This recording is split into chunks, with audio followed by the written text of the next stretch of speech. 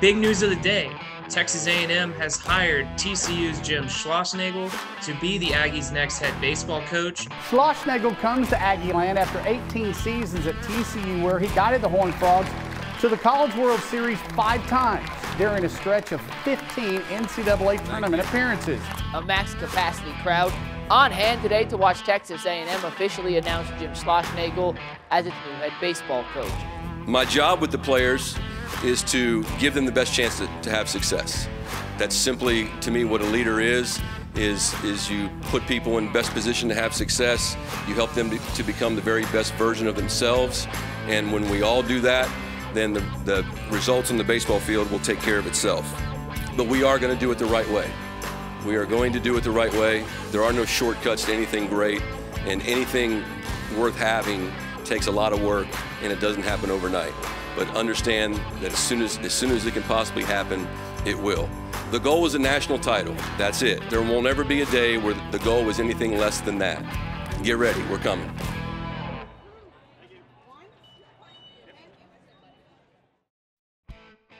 The veteran coach had stepped out of the comfort zone that 18 successful seasons at one school can provide. He wasn't looking for comfort though. He was in search of a challenge and for new heights at A&M. At 50 years old, I was kind of itching uh, to be a part of a transformation of a program one more time and the beauty of Texas A&M was that both personally and professionally it was a perfect fit for what I was kind of anxious to do. And then the opportunity to coach not just in the best baseball conference, but the best division of the best baseball conference against the SEC West. Just for me personally in my own career, before I finished coaching, I wanted to say that I had competed against the very best coaches, the very best players in the biggest environments with the most on the line. This opportunity, it came at the perfect time, and uh, I felt like I needed to take advantage of it. Uh, I'd always heard about Coach, and I've had some former teammates and friends of mine play for him, and I just they just said nothing but good things. And I knew what I was getting with him. I was getting a winner and a guy that just is really passionate about what he does. When he got here, I think the first day, like I knew immediately that, that hey, this is going to be a good change for A&M baseball. Like everything that I would want in a coach, like he has. But a new era began with growing pains.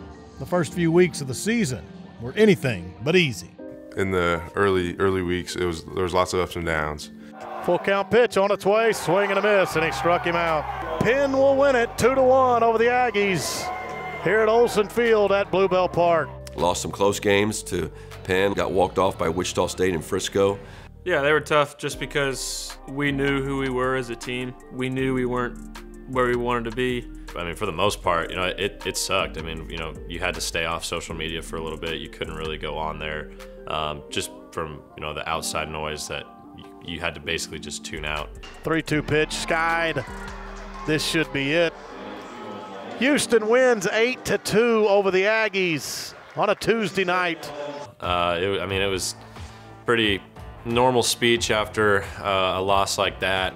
We thought we were going to get chewed out, but uh, he just walked in and said, Have y'all ever had a Pringle? Schloss is just genuine. He he just says what he feels, and his analogy that day was Pringles. If you eat one Pringle, you're going to eat really the whole can. Like you, this, you can't stop. You can't just have one. And he said, when you get one win, you need another, and you need another, and you need another. That was it. Like, hey guys, we need to be more desperate to win. We're about to go to LSU, and you better figure it out quick. A&M was headed to LSU to start SEC play. Their coach had said his piece after the Houston game. This team received that message loud and clear. Micah Dallas, my roommate, one of my all-time best friends, he grabs a Pringles can into the dugout and he brings it in. And of course, when coach asked about Pringles, he looked at Targac and Tar, you know, being the dude he is, he hits a home run. Micah brings out the Pringles can and just feeds him a Pringle. And I, yeah, if you want to credit our season to Pringles, I mean, I think you're, I think you're spot on. LSU was ranked eighth when the Aggies took two of three from them in Baton Rouge. Just a week and a half later, rival Texas was number eight when A&M entered Disch Falk Field in Austin at the end of March. Not only would A&M face a daunting Longhorn lineup, a hostile environment greeted them as well. It was without a doubt the most hostile environment we'd been to. The manager! They're getting after the manager! I really feel like the first game where we found out who we were and how we could play for each other and our, our identity uh, was that Texas game.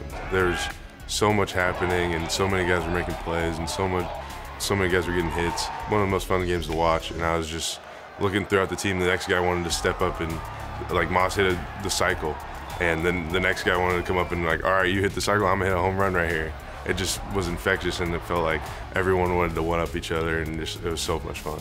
Uh, that's that's really where it felt like we have something special and we were all just playing for each other. It didn't matter who got the spotlight, didn't matter who was going in the pitch, it didn't matter who was going up to hit. Everyone just wanted everyone else to succeed and we're all playing for each other.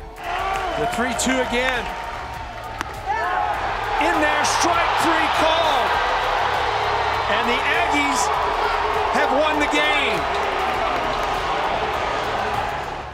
The top had been popped. The Aggies were hungry for more than just one win. The can had been opened for a successful run moving forward. That seven series stretch that we went through was probably some of the most fun baseball I've ever played. Fly ball, right center field, going back, still going back, gone! Troy Claunch, Olsen Magic! Our offense had a real identity of what what I envisioned the perfect offense to be. And during that whole run, that's that was the feeling that I feel like everyone had. No matter who's out there, yeah, everyone else has their back, and that's how we knew we had something special. Claunch with the bat flip to center field. Get out of here! We knew that we had what it took. We knew we had the right guys. We knew we had the right coaches. We knew we had the right mentality. So we were out to prove ourselves right. Having won back to back SEC series, Arkansas came to Bluebell Park for a set beginning April 19th. The third ranked Razorbacks visit meant the Aggies would have to be sharp to stay hot. I think one of the biggest confidence boosters for our team was that weekend and just showing that we could hang with anybody and we could beat anybody in the country. Shot through the 5 6 hole.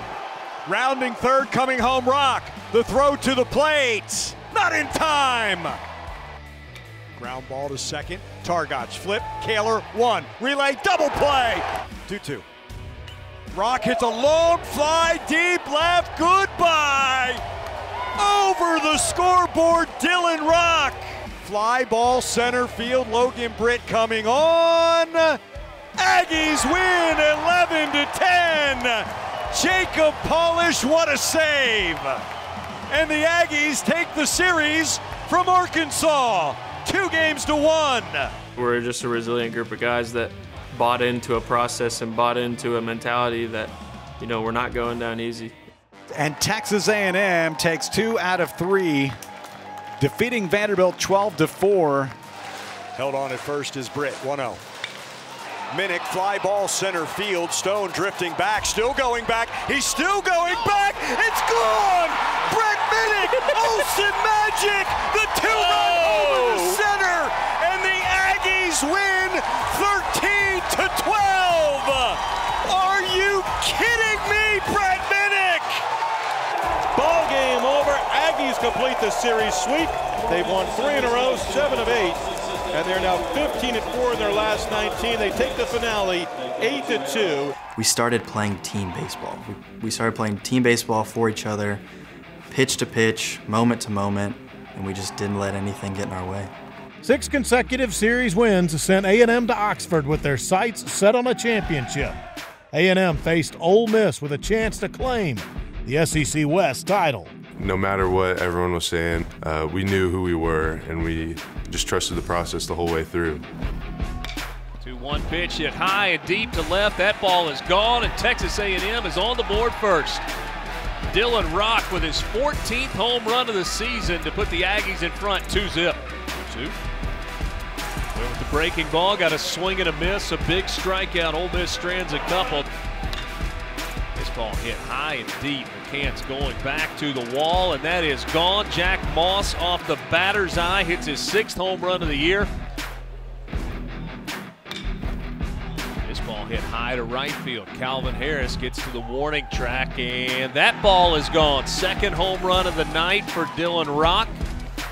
Texas A&M goes back to back, and now they've got a five-run lead Calvin Harris goes down swinging, and Texas A&M takes game number one. You know, I and obviously everyone else who came here, you know, had the intentions of doing some really special things in year one. It wasn't a rebuild year in our eyes. Um, like everybody kind of wrote us off, and I think we just came together over that. We came together over being the underdogs. We were all kind of misfits in our own way. And that ball is gone to straightaway center field. A three-run home run for Dylan Rock. Tie game, 5-5. A&M has out hit Ole Miss 8-5 today. The 1-2. Lifted to left. Kevin Graham on the run. Gets to the track. Reaches up. That is a grand slam for Brett Minnich. And a monster inning for Texas A&M. And he hits it right to the third baseman, Werner. To second for one, to first for a double play. Full count pitch. Fly ball to left. Kevin Graham going to watch this one leave the yard as Jordan Thompson goes deep. And we all just kind of gelled over our own adversities and kind of our own stories, and I think that's what made us so special. And you know, getting that final out and catching that ball from Tar. Fielded by Targac, throws over. Texas A&M wins the series, and they win the SEC Western Division. To be SEC West champions, to prove ourselves right, I think it, it was big. Um, we did what a lot of people thought we couldn't do, and we did what we thought we could do. I remember just that Saturday night taking everybody to dinner and just sitting back and watching the sunset in the square of Oxford and enjoying a championship. That was kind of a big proving point for us, and I think it's, it just sets the stage for this program moving forward.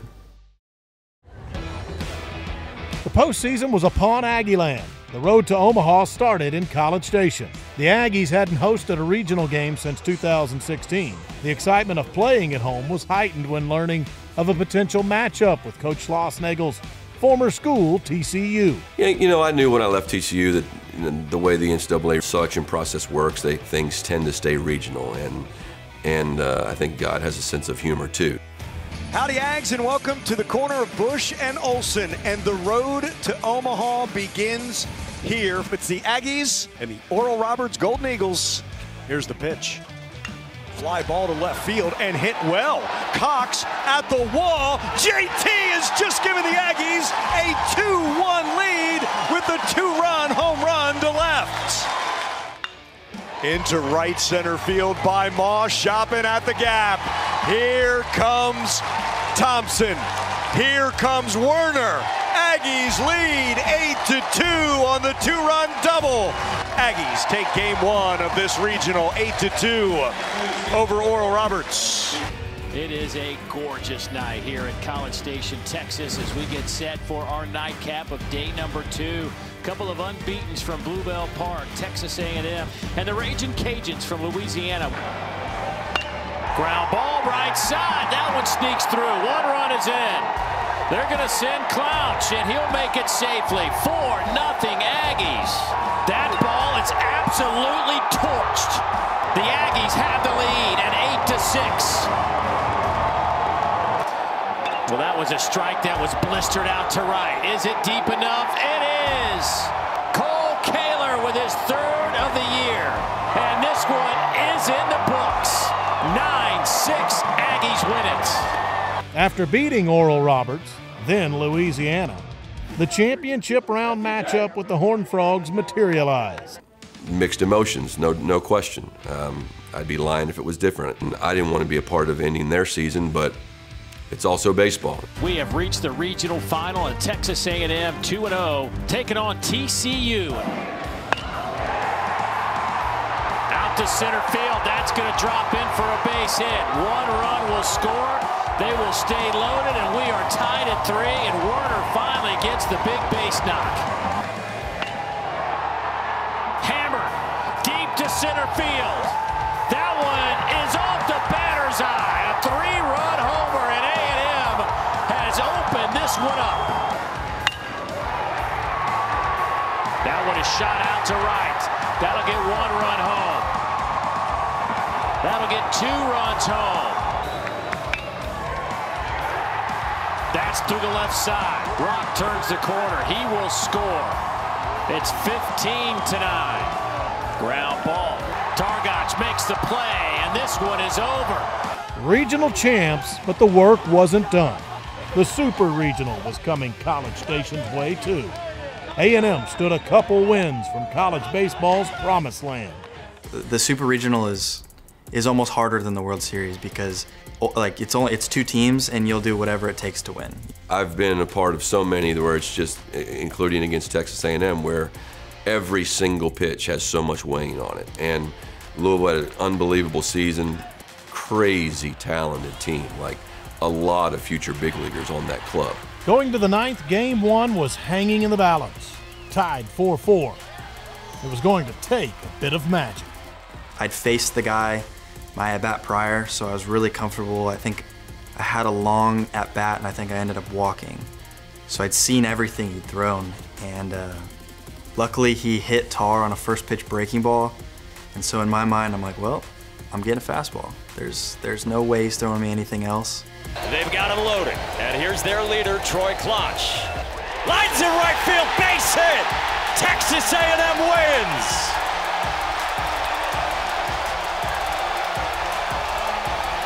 One win down over the Cards. One win to go. Another hot one. A quick turn, like we said, setting up game two here at Bluebell Park. A&M serving as the road team against Louisville. This is oh hammered. Left center field. Tie ball game. Ryan Targac, hello.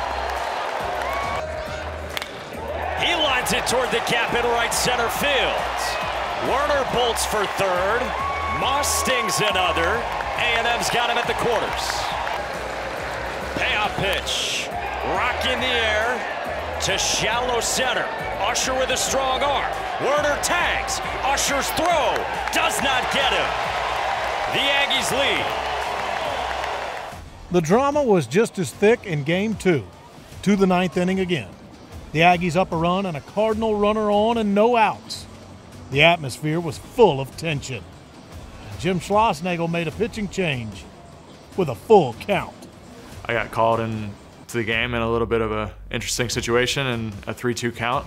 I had pitched decent the night before, but I didn't feel like I was on top of my, my game. And, you know, coaches called on me again the next day. And, you know, if, if the coach is putting you in the game, that means they think you're the right person for that job.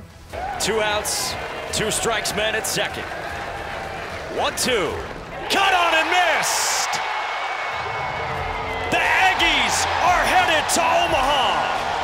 Honestly, I've never been more terrified to catch a baseball in my entire life. It never really clicks until that final out. Just look around and, and like, hey, I'm going to soak this all in because not everybody gets to experience this. There is a sense of, holy cow, we just survived that. And now we're going to the, you know, the pearly gates of, of college baseball. And, and then so seeing a guys go to the College World Series who've never been there before, who've only seen it on TV, uh, and watching their reaction and have, being a part of their experience, that's what is, is, is the most fun.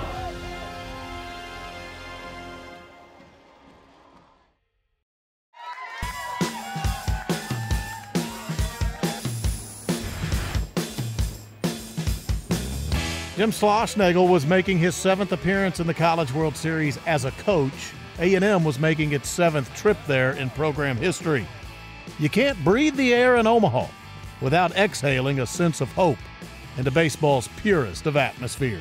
It was crazy. It was just, a, I guess, a full circle life moment. You know, I, I think I've been going since I was nine years old, and you hear, you know, Karl Ravech and Eduardo Perez calling your games. Like it, it didn't really feel real. And like saying your name as you step into the batter's box. You know, that's every kid's dream when they're growing up is to go to Omaha. Yeah, for me, having been there seven times, I mean, it, there there weren't really any emotions once the game, once we got to the game, the first game against Oklahoma.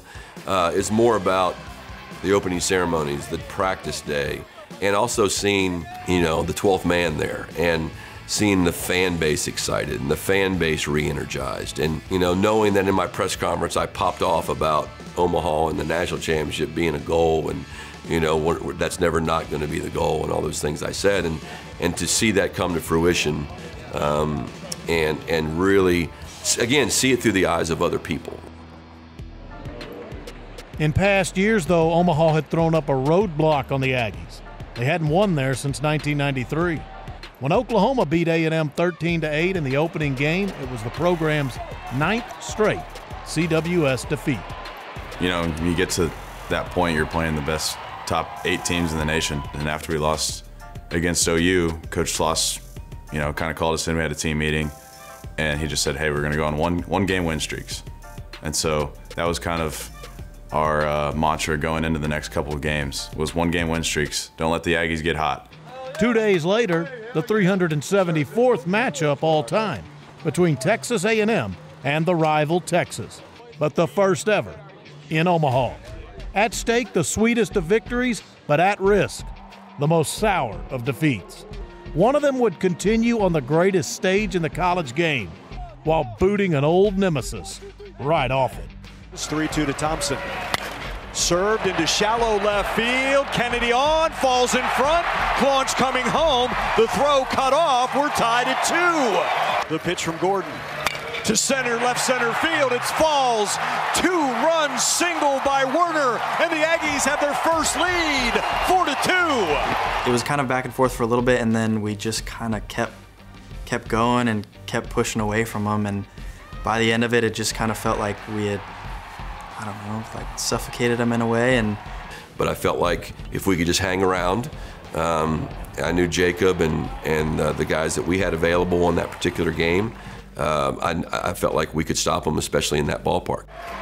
Here's the one-two pitch. Got him looking right down the heart of the plate. Struck out a big hitter in Ivan Melendez, and Texas will strand him loaded. Line down the left field, just inside the line, into the corner. RBI double by Bost, his second double, and the Aggies lead 10 to 2. There's a point in a, in a game in a season where a team just, hey man, this is this is isn't our day, and I think maybe that was going on on the other side. The 1-0 to Todd. Fly ball, left field. Dylan Rock drifting back. He's under it. Aggies take the horns down. 10-2. So long to the orange and the white. The Aggies advance. Don't let us win one. Don't let the boys get high. After notching the program's first CWS win in almost three decades and saying goodbye to Texas University, the Aggies faced another elimination test versus Notre Dame. Nathan Dettmer, who faced his own trials in a tough luck outing in the Oklahoma loss four days prior, would step back to the hill against the Fighting Irish. I definitely wanted the ball. I, I really wanted to redeem myself and my teammates, and I knew that uh, if I got the ball, I wasn't going to it wasn't to waste it. And uh, I talked to Schloss that day or the day before, and I just said, whatever you need me, if you need me in the pen, if you need me to start a game, whatever you need me, I want to pitch again. I'm available. And he said, well, I'm, I'm to need you to take the ball tomorrow. And I'm like, yes, sir. I, I love it. Let's do it. You know, everybody was kind of from the outside was kind of freaking out on him, but you know, Det is just the same cool, calm, collected guy, and I believed in him. We all believed in him, and you know, when he believed in himself, you know, he's obviously done that all year. Um, you know, obviously really good things happen. So, 2 2. Curve, swing, and a miss. He struck him out. Back to back strikeouts. 0 2. Got him, swinging a miss. Struck him out.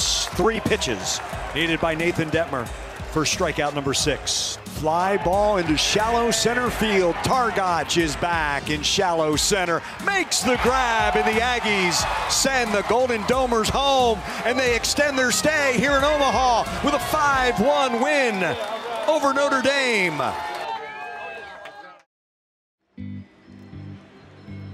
The magic this team conjured at Olsen Field at Bluebell Park swept up Aggies and the 12th man everywhere and carried them deep into the bracket in Omaha.